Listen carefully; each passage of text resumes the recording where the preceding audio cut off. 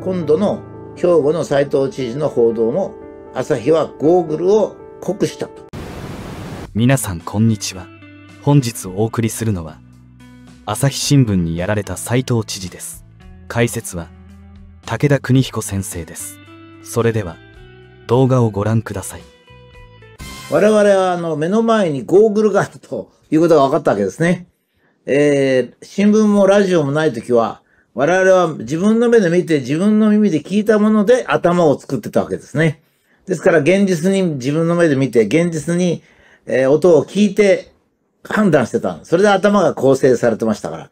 私たちの頭は狂わなかったんですけど、頭脳障害が起こらなかったんですけど、えーと、今から120年ぐらい前にですね、新聞とかラジオとかできてですね、それが我々の目を遠くまで見えるようにし、耳を遠くまで聞こえるようにしたように思ってたんですけど、そこで働いてる奴らがですね、我々に嘘を教える本ですから、我々の頭脳は狂ってしまったと。つまり我々は今ゴーグルをかけてる人間みたいなもんでですね、今度の兵庫県の斉藤知事の報道が本当そうでしたね。これからどうなるかわからないですけど、我々は斉藤知事について全然別の情報だけをもらってた。もちろん朝日。朝日ってのは難しいんですよ。朝日新聞じゃないんですよ、あれね。新聞だったらいいんですけど、あれ、あの、情報操作機関なんですよ。朝日っていうのは情報操作機関。だけど突然、朝日情報操作機関ってっても通じないもんですからね。これから朝日ゴーグルって呼んだらいいのかもしれないですね。朝日ゴーグル。朝日ゴーグルが何をしてきたかっていうのをちょっとね、えー、120年ぐらい遡ってですね、もうものすごく多いもんですから。もう日常茶飯事ですからね。朝日ゴーグルは。なかなか大変なんで、えー今日、朝日ゴーグルの1ってつけたんですけど、もしかしたら2とか3まで行くんじゃないかと思うんですけどね。まず第一は、あの、私この前ちょっとお話しまして、えーこのひばりクラブだったか講演会だったか忘れたんですけども、えー皆さんですね、この前の大東亜戦争、もう310万人も死んだ大きな戦争ですね。まあ、あの、進駐軍が、えー太平洋戦争って呼べってことでですね、今でも進駐軍の言うことに従って太平洋戦争って呼んでる人いるんですよ。朝日ゴーグルもそうじゃないですかね。えーっていうのは、あの、教科書に記載してるものがですね、昔は大和時代といったやつを、進駐軍が古墳時代で呼べって、大和って言葉使っちゃいけないっつってですね、あー古墳時代に変わったんですよ。そした後ね、進駐軍がいなくなって、日本がサンフランシスコ平和条約で独立しても、文部省とか、歴史の先生とか、そういう左翼系の人がですね、去年まで確か、大和時代と言えと。で、去年やっと古墳時代を大和時代と呼んだ本が、教科書が認められたとか、そういうんですよ。ひどいもんですね。で、あの戦争が起きたのはですね、朝日新聞の朝日ゴーグルなんですよ。実は。っていうのはですね、えーロシアが日本に攻めてきたんですね。もう大変なことでね。あの頃大体ロシアっていうのはおおよそ日本の5倍ぐらいの国。まあ、軍事力、陸軍とか海軍とかね、経済力とかいっぱい人口とか比較がありますから難しいんですけど、おおよそ5倍。5倍って言いますとね、大体戦争すると事情の法則ってありまして、えー5対1だと25対1になっちゃうんですね。ですから、もう全然勝つ見込みない戦争を必死になって勝ったんですよ。まあ日本人はね、首相伊藤博文もそうだし、お金を集めに行った、高橋これ清だ、誰だったかな、そうね。まあ他にも人いますけど。それから203高知で頑張った乃木大将から日本の兵士、召喚ね、えー少佐とか大佐とか、前線の指揮を取った人、もうみんな無残に命を捨てたんですよ。それで日本を守った。やっと、奇跡的に日本が勝った。そしてポーツマスで平和条約が結ばれる。その時に小村寿太郎が平和交渉に行くんですよ。だけど形の上は勝ったけどね。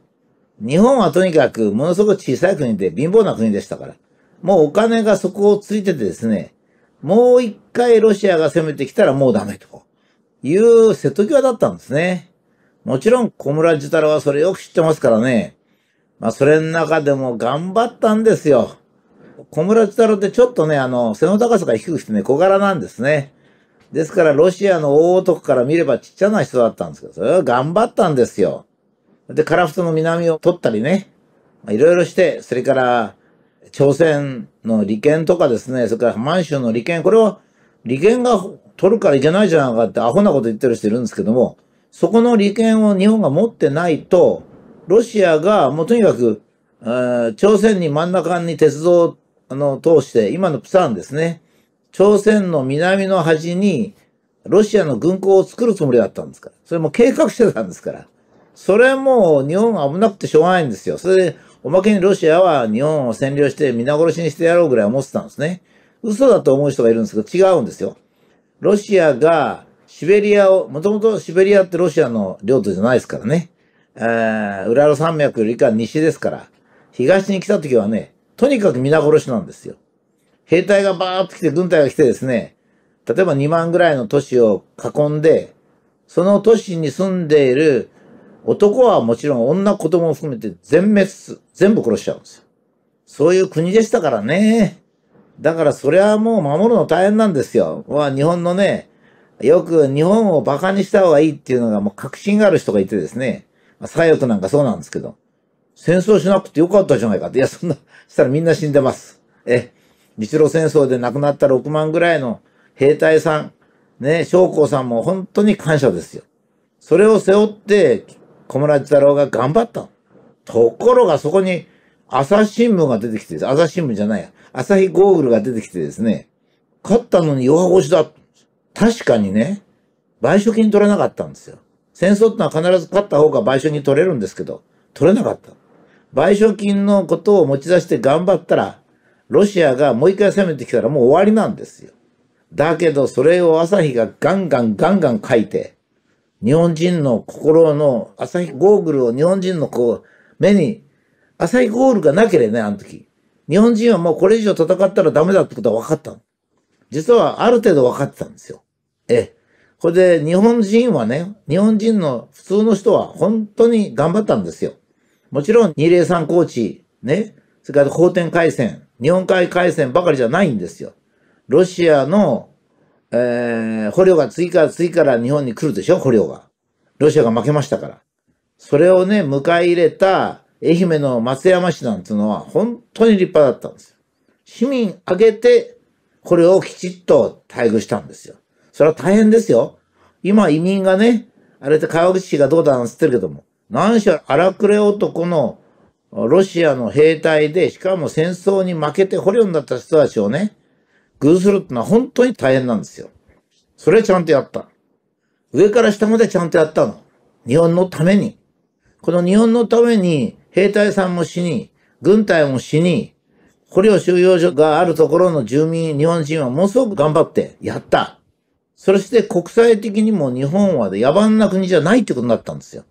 これが残ってたらね、その後の日本の態度も変わってくるし、ヨーロッパや他の国の日本に対する印象も変わってくるし、それから、さらにね、えー、戦争に結びつくことはなかったと私は思うんですよ。まあ、その後、国際連盟脱退とか大東亜戦争の開始時点での、この朝日新聞、朝日新聞じゃない、朝日ゴーグルの挙動がね、310万人を亡くした大東亜戦争に結びついちゃったんですよ。えー、やがて日本の戦争が正しく評価されるときに必ずそうなると思います。それで日本人は朝日ゴーグルをはめて日露戦争を見るもんですから。小村寿太郎の家を襲いですね。一番の功労者ですよ、小村寿太郎。えー、日本を救った功労者の一人です伊藤博文とかの偉い人、乃木大将とかいますけど。もちろん日本人全体、松山市の人たち、みんなそうですけど。小村寿太郎の家を襲うって一体何だと。まあ、今度の、兵庫の斎藤知事と似てますよね。ゴーグルをかけられちゃいますから。ねえ、それで日比谷焼き討ち事件っていうのを起こしたんですよ。日比谷公園の焼き討ち事件を、東京ですからね。皇居の横ですから。それを日本人が襲って焼き討ちしたんですよ。これをヨーロッパの記者が見たんです。で、やっぱり日本は野蛮な国だ、危険な国だっていう報道をどんどんしたの。それはその通りなんですよ。だって、日比谷焼き討ち事件に参加した日本人は、朝日ゴーグルをかけてたんですよ。だから間違っちゃった。だからね、あれだけ命をかけて戦って日本を守ったね、僕はあの、兵隊さんとかに申し訳ないと思ってるんですよ。ええ。それから続いて、えー、ちょっと間が空きますけどね。まあその間中国との関係なんかで、朝日ゴーグルがどんな風になったかっていうのはちょっとここでは割愛します。もう少し細かくやるときは細かくやりたいと思いますがね。少し飛んで国際連盟脱退。まあ、日本が、日本は国際連盟の主要なメンバーだったんですよ。第一次世界大戦で日本は連合軍側に入ってですね、えー、ドイツと戦いました。ドイツがその頃は中国の山東省に領地を持ってるし、太平洋の島はかなりドイツが多かったんですよ。それを全部日本が取りました。えー、したがって戦勝国ですからね。えー、アメリカとかイギリスとかフランス、日本と、まあ、主要国がですね、その時に国際連盟を作ったわけです。その主要国の一つになりました。日本政府は立派だったんですよ。この時に人種差別撤廃条約というのを、牧野っていう前の外相とですね、有名な西園寺金物が、えー、代表団になって、パリの講和条約に行って、ね、断固、我々は黄色人種ですからね。あと全部白色ですから。いや、白色でちょっとごまかしてるのも言いましたけど、まあ、黄色人種を堂々と言ったのは日本だけなんです。人種差別撤廃条約。これを1919年かなパリ講和条約で提出した。ね。立派な態度ですよ。ええそれで、日本は少しずつ少しずつね、えー、国際社会で認められてた。それで国際連盟でも中心的役割を果たしていた。しかしちょっとこじれて、えー、1930年代の初めにね、国際連盟を脱退することになります。この国際連盟脱退で日本は完全に孤立し、大東亜戦争への道を歩むんですけど、その時の朝日新聞の記事を見てくださいよ。まさに朝日ゴーグル。もう日本人が、もう国際社会のいろんな議論を全く見えないようにしたんです。全く見えないようにしました。そして、この間ですね、えー、日本の新聞の販売部数は大きく変化しました。この国際連盟脱退の時を経て変化したんですよ。それまで朝日は、朝日毎日読売の3新聞のうち、一番下だったんです。一番上が毎日販売数ですね。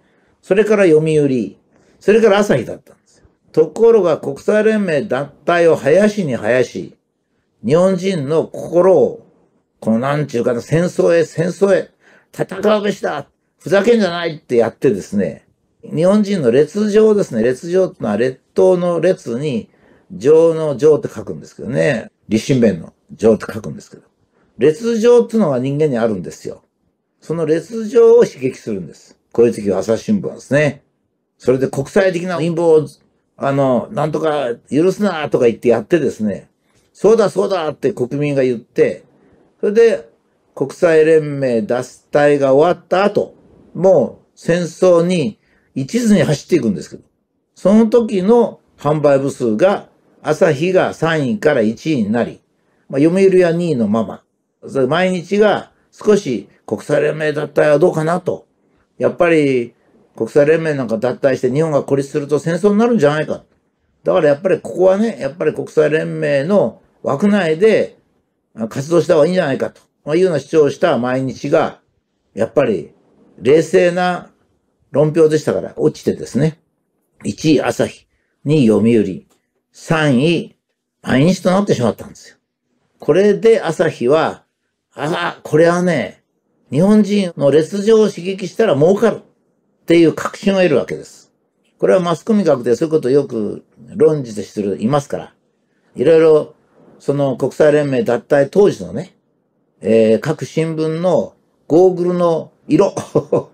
それをね、よーく勉強しますと、朝日がここでね、この新聞の一番大切なことはゴーグルなんだと。真実じゃないんだと。真実を国民に知らせる必要ないんだと。ゴーグルでいけるんだと。その方が儲かるんだ。今度の兵庫の斎藤知事の報道も、朝日はゴーグルを酷したと。まあいうことですね。まあちょっとこれで終わりましたんで、あとまた、あの、次にやりたいと思います。いや、もう悪いゴーグルが日本にありましたね、本当に。さて、いかがでしたでしょうか？朝日新聞は、もはや新聞社ではありません。朝日情報操作会社、朝日ゴーグルと呼びましょう。以上、武田邦彦非公式ブログでした。チャンネル登録がお済みでない方は、チャンネル登録の方をよろしくお願いいたします。それでは、また次回の動画でお会いしましょう。